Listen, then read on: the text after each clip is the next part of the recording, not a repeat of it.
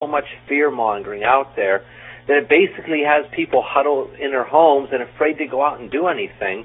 And even people in the, in you know the alternative research field, um, you know the, the guys that come across growling and talking real fast, and they just have everyone scared out of their wits. And um, we try not to do that on Wing TV. You know, and oppositely, we say go out and do something. Don't be afraid of anything. So yeah, this legislation's out there, but right now there's very little that's been done to, to Lisa and myself. I mean, we just go out there on TV, we say, here we are, you know where to find us. You know, we're going to say whatever we want to say, and to hell with, with anybody out there. That you know? type of legislation is out there to intimidate you. Right. And if you allow them to, then they win. Why give them the satisfaction? Stand tall and say what you want to say. Yeah. And, um, you know, so, you know, we know that it's out there and the, and the potential for harm is there, but in all reality, you know, no one has ever come in and censored us. No one has ever come knocking on our door. No one's ever handcuffed us. And the only trouble we ran into is when we tried to, to meet a radio talk show host last week, um, a guy named Mike Gallagher, and we were threatened with arrest if we didn't leave the premises. But that didn't have anything to do with the Patriot Act. That's just because this guy's a coward. And, a hypocrite. And a hypocrite, and he's afraid to, to see us. So, you know, we, um, we don't try to promote the whole the whole fear mongering thing Right. on our side. We instead we say go out there and, and be loud and proud and say what the hell you want to say. So basically, what this does is it allows them, at any time they decide they want to access this act and use it, they can they can imprison you, hold you without any charges, hold you without any access to an attorney for as long as they want to. Yeah, technically they can, but I think most people aren't experiencing that. Well, I think most I mean- people know. I mean, I, I know I'm working on the, the I work on different angles. I'm on the Christian angle. I'm on the New World Order, the alien agenda. That's a little bit different. Most people aren't on. Right. Steve Yeah. Quayle. I mean, in all reality, when But this is all setting this, up for what we expect in during the last days when when Christians will be hounded and persecuted and taken to camps just for believing in the Lord. Yeah, I mean, like when, if we get back to this Patriot Act, and you know, there's a guy out there that's saying that the government's they're listening to every radio station you listen to. They're monitoring whatever internet sites you're on. They're monitoring what highways you drive on, what TV stations you watch, on and on and on. And we say, why should the government even care about that? Because 99.9% of people aren't doing anything Right. anyway. Yeah. So why would the government even care? So all they're doing is using this stuff to make people afraid. To neutralize you. Yeah, and and these people that are pushing all this fear mongering, they're as bad, if not worse, than the government themselves because we already get so much fear out of them. Right. What we need people to do is start realizing that this is just an illusion. These are head games being played with them. It's a form of mind control. Yeah, and there's no way that the government could monitor everybody anyway. I was speaking with someone that specializes in this stuff, and they said, "Do you know how many resources it would take to do something like this to monitor everybody?" They said there would be no money left for anything else anywhere in the world. So the whole thing, like Lisa said, it's a big illusion. It's a way to fill up, fill everyday people with fear. So they say, "Oh my God, if I do something, if I go on this website, or if I go hold a sign outside or whatever, then they're going to come get me." And it's just absolutely not true. Now, do you guys get get viruses that are trying that put on your computer to where you can't access your own sites or certain No, sites? No. no. Have you ever? I've I've I've, I've experienced that. See, we very, very rarely, Maybe you have a hacker, but we don't we don't really have any problems. and we don't have any, you know, specialized equipment other than just, Nope. you know, Norton and search. Right, I don't either. You know, I'm just too computer illiterate. Yeah.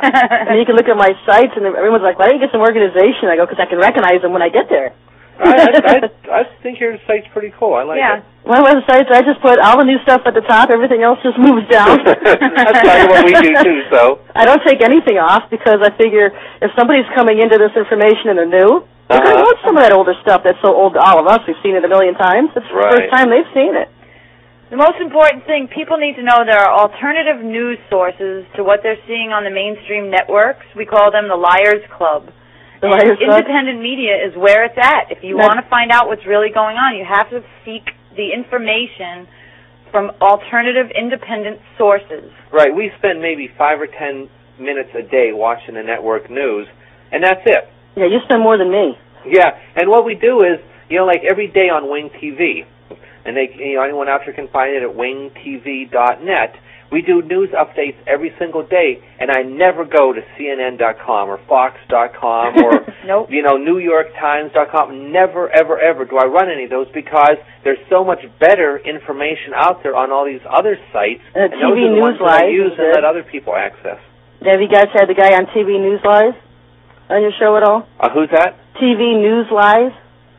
Um, I, I'm familiar with the site. Yeah. Yeah, that's a good that's a good site. I like I enjoy that site. Oh, there's so many out there, and Yeah. you, You, know, guys are really laid back. I like your format at Wing TV. Oh, thanks. Thank you. You know, I really enjoy that. Now, do you do that live, or do you just archive it in the morning and and and just run it during the day, or how does that work? Well, we film at two o'clock in the afternoon every day, and it's it's filmed live.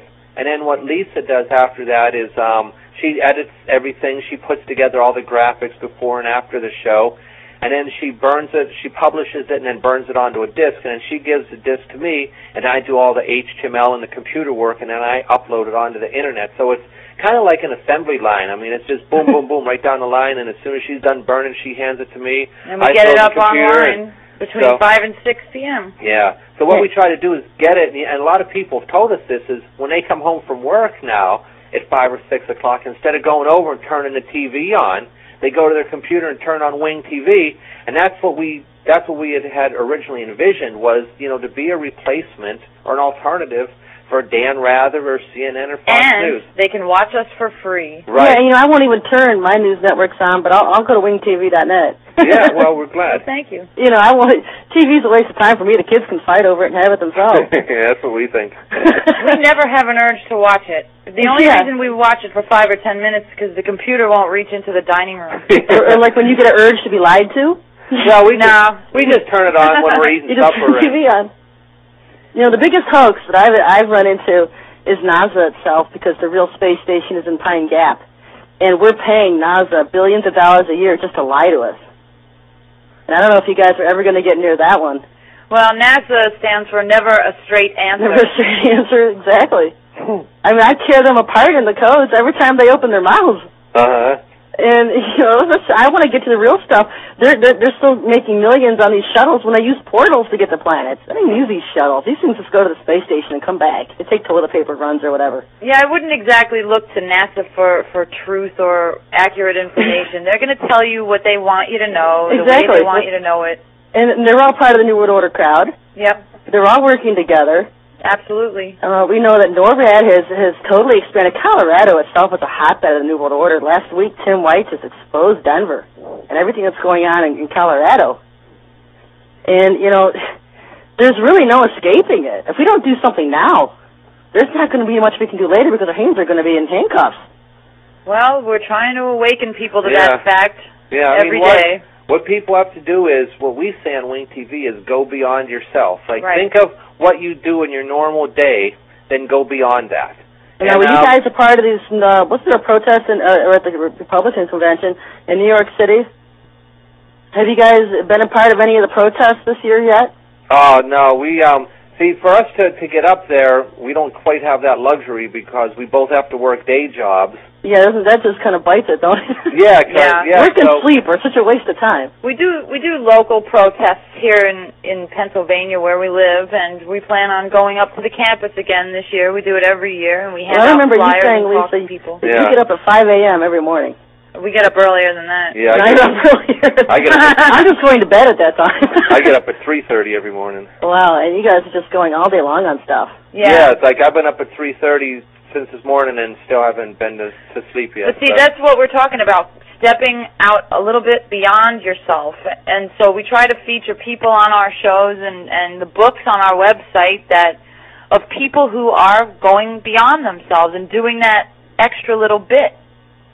And they could do anything like wearing a chemtrail T-shirt. Bring awareness to chemtrails. We try to tell people to talk to someone new every day and start talking about this stuff. We have word of mouth and we have the internet. Yeah, and it just seems like so few people are doing all the work.